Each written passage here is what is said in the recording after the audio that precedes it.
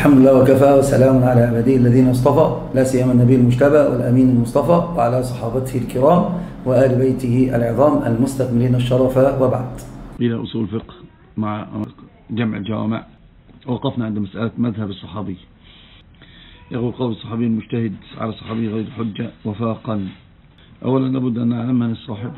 الله المستعان. من الصاحب؟ الصاحب هو كل من لقي النبي صلى الله عليه وسلم مؤمنا ومات على ذلك. كل من لقي النبي صلى الله عليه وسلم مؤمنا ومات على على ذلك. هذا هو الصحابي. قول الصحابي يقول وكذا على غيره كالتابعي لأن قول المجتهد ليس بحجة في نفسه.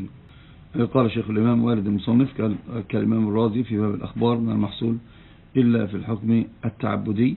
الحكم التعبدي مسألة مسألة لا اجتهاد فيها فإذا كان لا اجتهاد فيها فإنها تكون الله يحفظكم كل سوء.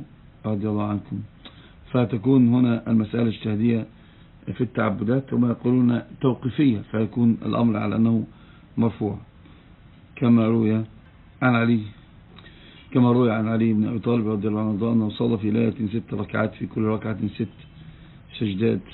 ولو ثبت ذلك عن علي لقلت به طبعا هو الشافعي يقول بذلك لأنه لا مجال للقياس فالظاهر أنه فعله توقيف توقيفيا أو توقيفا وفي تقليد الصحابي تقليد غيره له بناء على عدم حجيته حجية قوله. قولا المحقون كما قال الإمام الحرمين على المنع لارتفاع الثقة بمذهبه إذا لم يدون. وقيل قوله حجة فوق القياس حتى يقدم عليه عند التعارض. وعلى هذا فإن اختلف, فإن اختلف الصحابيان في مسألة فكالدليلين قولهما فيرجع, فيرجع أحدهما بمرجح. وقيل وقيل حجة دونه أي دون القياس فيقدم القياس عليه عند التعارض وفي تخصيص العموم قولان أيضا كغيره من الحجج.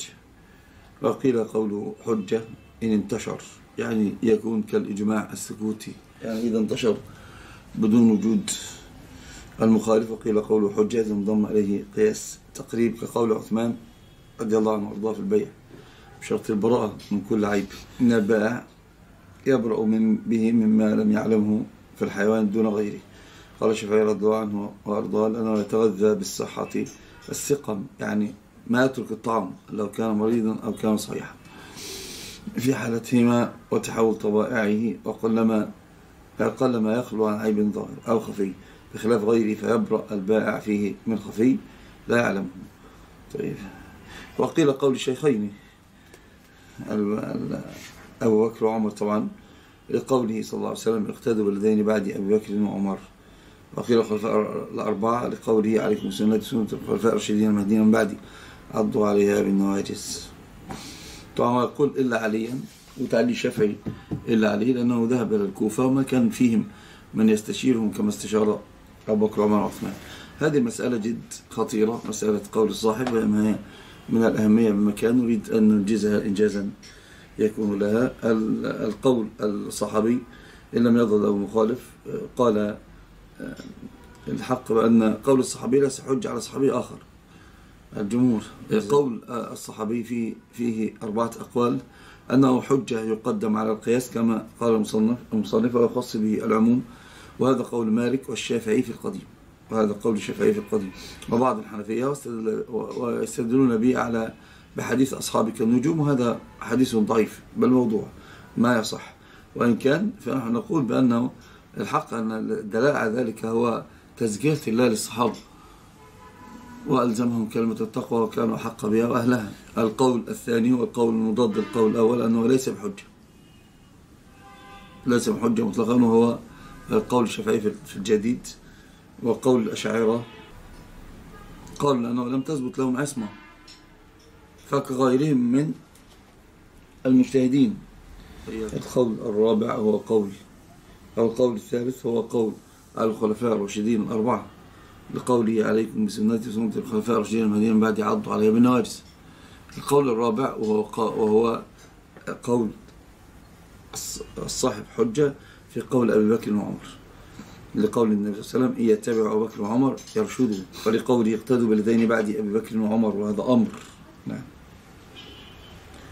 حق تحرير هذه المسألة لابد أن نقول من قول الصاحب قد يكون, قد يكون قول الصاحب لا مجال للرأي فيه. يكون من باب التعبد ولا مجال للرأي فيه. فهذا حجة لأنه يأخذ حكم الرفع هذا حجة لأنه يأخذ أمر الرفع فهذا حجة لأنه يأخذ أمر الرفع أو حكم الرفع الذي لا مجال الرأي فيه. الثانية أن يكون مما له فيه مجال. فإن كان لا مجال الرأي فيه فهو حكم حكم الرفع فيكون حجة لا كلام في ذلك. ويقدم على القياس وأيضا يخص به النص. بشرط أن يكون الصاحب لم يأخذ من الإسرائيليات. طبعا الانتشار هنا على ما قاله المصنف والانتشار أن يكون آه، إجماع سكوتي إجماع سكوتي. وإذا اتفق الأئمة الأربعة فلا كلام لأن النبي قال عليكم بسنتي وسنة الخلفاء الراشدين المهديين بعدي عضوا عليها بالنواجذ نعم. وفي قول اقتدوا الذين بعد أبي بكر وعمر يتبع أبو بكر وعمر يرشدوا. عندنا القول قول الصاحب الذي ينتشر ولا مخالف فيه وأيضا لا مجال للرأي فيه فهو حكم حكم المرفوع يبقى إذن حجة. الثاني هو أن نقول قول الصاحب الذي ليس له حكم الرفع ليس بحجة على مجتهد آخر من الصحابة. يعني ليس ابن عمر حجة على ابن عباس ولا ابن عباس حجة على ابن الزبير. نعم. والذين قالوا أن قول الخلفاء الأربعة قال بكر وعمر كغيرهم من الصحابة قالوا أن المراد بالأمر بالاقتداء بهم هو المخلد. وأما المجتهد العارف بالدليل فليس بمأمور بترك الدليل لظاهر قولهم. إذا قول الصاحب الحق أنه قول الصاحب إذا كان إذا كان مما لا مجال للشهاد فيه فهو حجة لأنه في حكم المرفوع وإن كان قول الصاحب الذي ليس له حكم الرفع انتشر ولا مخالف له هو حجة أيضا لأنه كالإجماع السكوتي. فقول الصاحب حجة وهنا قول الصاحب حجة كما قلنا إلا أن يجد مخالفا. لكن لا يخصص العموم. يعني قول الصاحب لا يخصص العموم. لأن العموم نص والنص لا يخص إلا بالنص. قد نقول قول الصاحب أيضا يقدم على القياس فهو أقوى من القياس وهذا الراجح الصحيح. اللهم أعين اللهم أعين يا رب العالمين. هذا بالنسبة للكلام على أصول الفقه والكلام على مسألة قول الصاحب. إحنا قلنا أن قول الصاحب فيها الأقوال الأربعة التي بيناها لكم ولها مجالان. المجال الأول أن تكون أن, أن يكون لا مجال للرأي فيه فهذا حكم حكم المرفوع فهو حجة لا كلام. إن كان ليس حكم حكم المرفوع فينظر فيها في هذه المسألة. إذا انتشر بين المخالف صار حجة المجمع سكوتي. وإن كان لأبي بكر أو عمر فهو, فهو حجة. سبحانك اللهم ربنا وبحمدك أشهد أن لا إله إلا أنت أستغفرك وأتوب إليك. إن الله وملائكته